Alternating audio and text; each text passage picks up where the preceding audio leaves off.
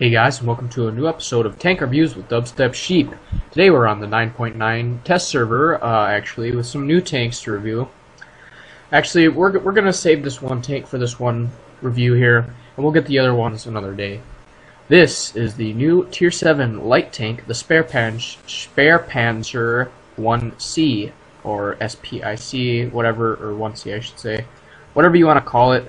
It's a Tier 7 German light tank with a actually a 90 millimeter gun. And this thing, it its armor is obviously not good as you can think. It's uh, let's check a look at the um, take a look at the stats here. It's got 880 hit points. Uh, your engine power 195 horsepower. Really, in real life, this uh, light tank was supposed to have a much higher horsepower engine, and it only weighed what like a couple tons, I think but in the world of tanks, of course, it's not as good as real life. uh, your top speed is going to be 58 kilometers an hour. You can actually up that with your crew skills. I put some high octane gasoline on mine to make uh, make it go a bit faster than that. Your armor. This is where it kind of gets disappointing. 10 all around, except for the front of the turret, which is 15 millimeters. Now, the, the spare, spare Panzer 1C is, uh, it's an, it's just not a good light tank. There are so many other good light tanks for Tier 7 that are out there that can easily outclass and outperform this thing. But there's just certain ways you gotta play this. For one, do not use the autoloader 90mm gun. It only has three shells total. It takes three seconds for one shell to load, and it takes another 20 seconds for the whole complete clip to load again. And that's just just don't use the autoloader because it's going to tempt you to stick out there and keep firing your autoloading or your your three shells that you have in your clip, and then you're probably going to get shotgunned or hit by a anything can penetrate you. Let's just say that. So just stick with the tier seven, the second 90 millimeter gun. Stick with that one. Your standard shell damage is going to be 180 to 300. Your standard shell penetration 135 to 225. Your rate of fire, eh, 7.59 rounds a minute. It's kind of rough, kind of rough, but you can uh, you can um, take that down a little bit with a gun rammer and a enhanced gun laying drive, crew skills, stuff like that. Turret traverse 44 degrees per second. Your view range 400 meters, and your signal range 750 meters. Now I've heard that this is not good for active scouting, like the M41 Walker Bulldog would be. Like running around the map, it just doesn't have the speed or mobility to do any active scouting. And passive scouting is would be would be kind of good, but you almost want to play this where you stick behind somewhere and you just come out, put one shot in any any if there's like a taint or if there's a um, enemy close to you and uh, you haven't been spotted yet, if whether you have sixth sense or not, that'll help. But um, just put one shot, fall back. Make sure you maintain cover between you and the enemy. And that's that's what I've heard is the best is the best way to play this thing, uh, even once you get into tier 10 games. Because I mean, this thing will probably get destroyed in a tier 7 game, even though it's a tier 7 light tank.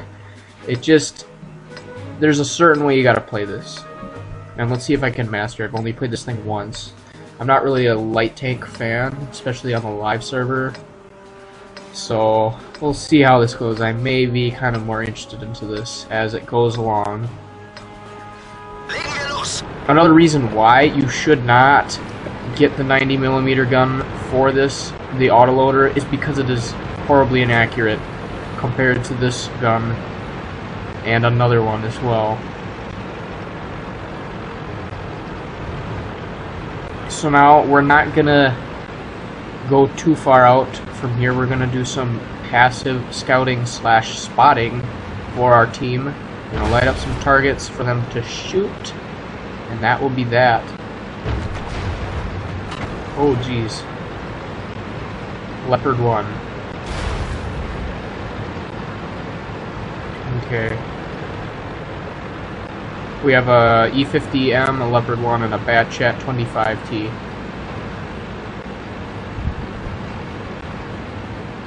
I'm gonna sneak around this way.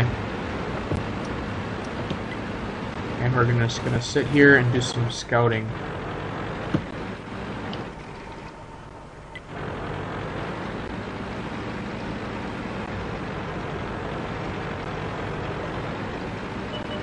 Nothing quite yet.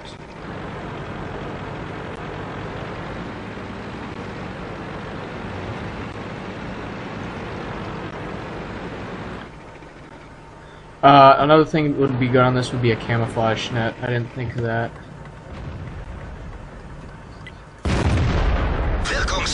One shot, fall back. Wait for your reload. If you have camo net or anything like that, wait for that to reset. Come back out. Plant one.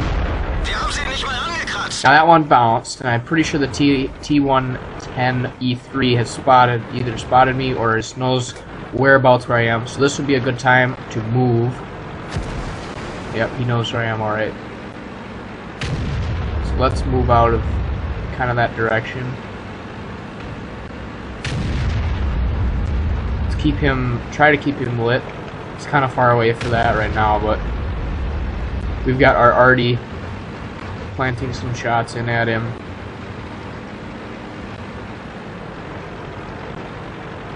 This is as good a place as any to sit.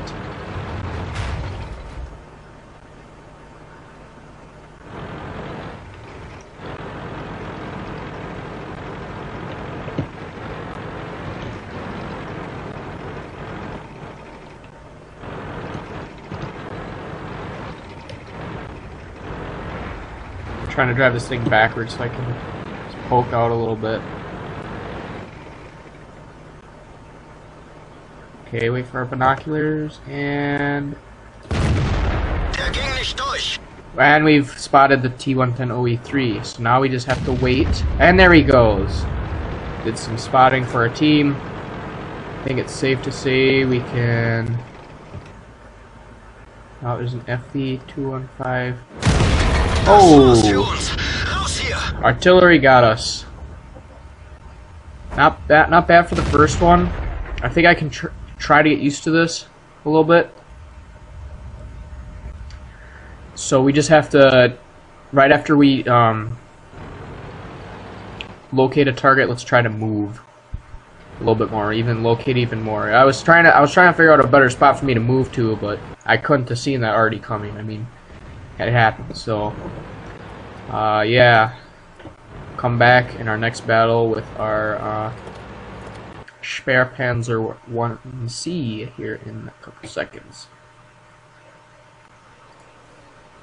Hey guys, we are back with our Spähpanzer 1C, our little Tier 7 light tank. We'll take it out one more time for battle here. Uh, I was playing earlier today and I actually got into a skirmish, and I was hoping that maybe we could get into a skirmish with this thing, but nope.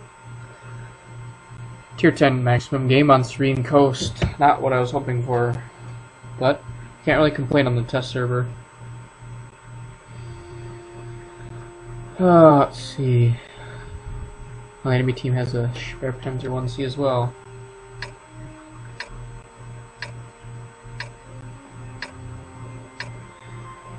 Sometimes it lags a little bit for a second. There we go. Alright, I think we're probably gonna head up to the left, most likely. I think that's what we'll do.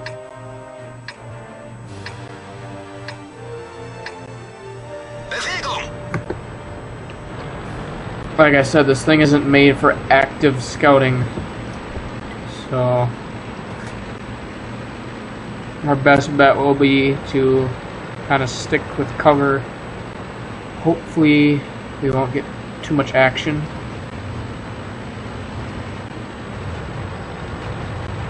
We've got a couple mediums going with us here.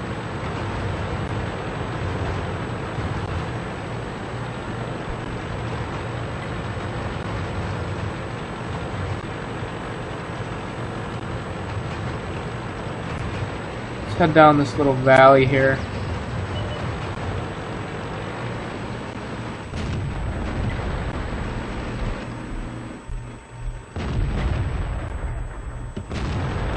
We've got a lot of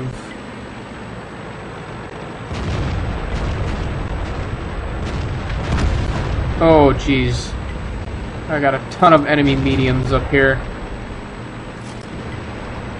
There's not a whole lot we can do. There's only so much a light tank can do in a situation like this. We don't have the armor, we don't have the firepower. Our best bet is to get behind some cover and just kind of slowly fight it out.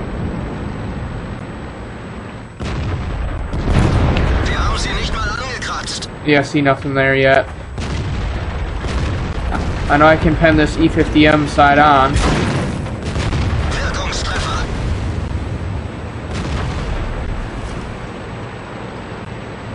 Time to pull out of here.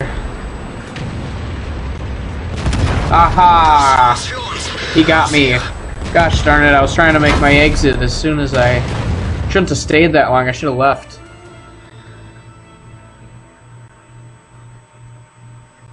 Okay. Well, we'll come back in a second when our Spear Panther comes back from battle. We'll probably take it for one more quick run since that was really, really short. Uh, yeah, so we'll be back in a few seconds. Once again, we are finally back with our Spear Panzer 1C for like the 20 trillionth time. Uh, let's check what we did. All we oh we got some spotting in there, and uh, well spotting on the IS-7 and assistance in destroying with the Object 140 T62A and E50.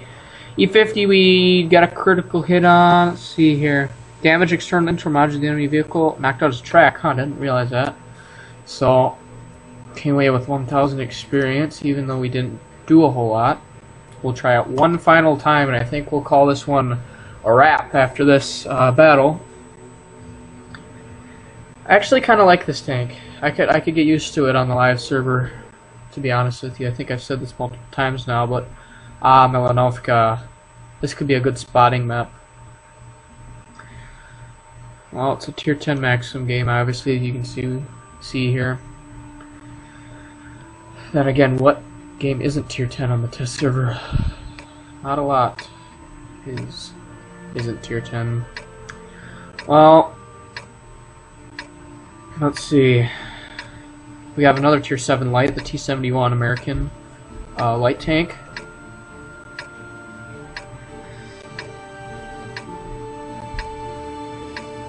Now, I could go either way here, but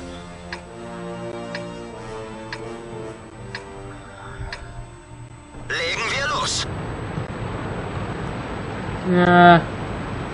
Nah.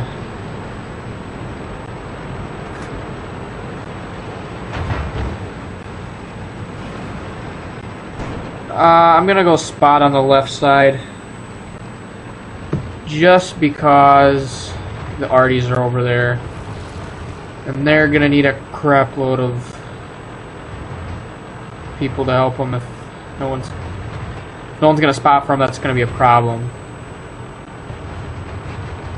So that's what I'll do.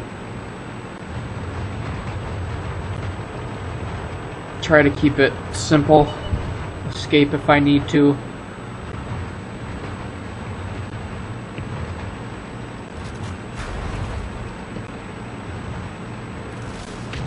Looks like we've got some moderate cover.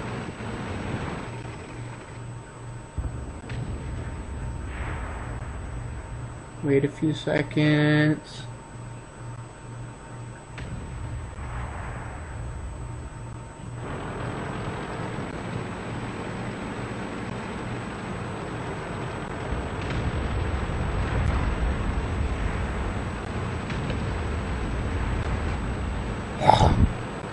We've got a bat chat. I don't think he sees me quite yet. If we can get the drop on him.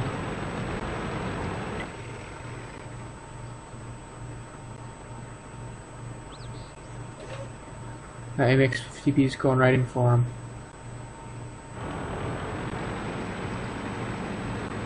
I think it'd be wise to assist.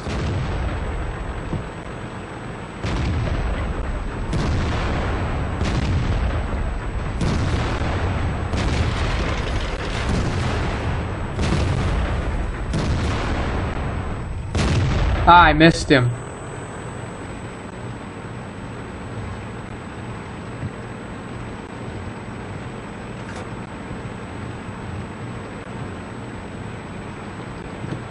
I'll chase him down. He's a one shot. Definitely. Aha! I missed him! There he goes. I probably could have killed him if I was a little bit more paying attention and such like that, but what can you do?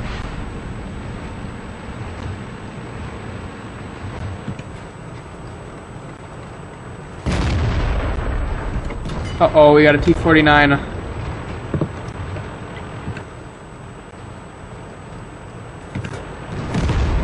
There goes the T-49. There's the Batchat Artie. Of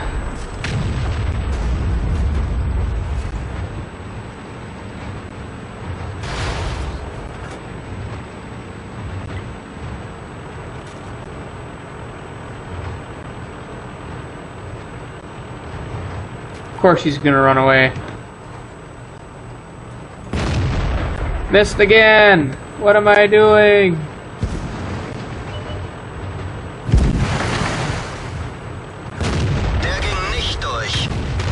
Bounce the GW E100. What am I doing? There he goes, dead. Deader than a doornail. Got the bat chat. Bounce the GW E100. Ah. oh boy, we're getting shot at from all directions here.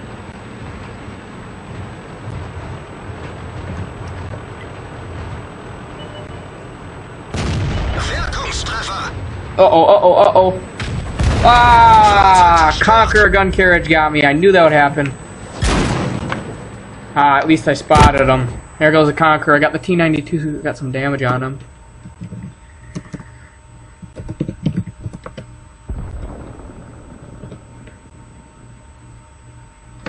Oh, yeah, well. That wasn't too bad. Not a bad ending for this little guy. Well, everybody, thanks for watching the review of the Spähpanzer 1C. It was kind of a lot of different battles. Didn't go super well, but I'm pretty pleased with this tank. Uh, if you like this tank, you'd like to see more, please leave comments on my video. Like and subscribe. The support really helps. Once again, thanks for watching, and as always, good hunting on the battlefield.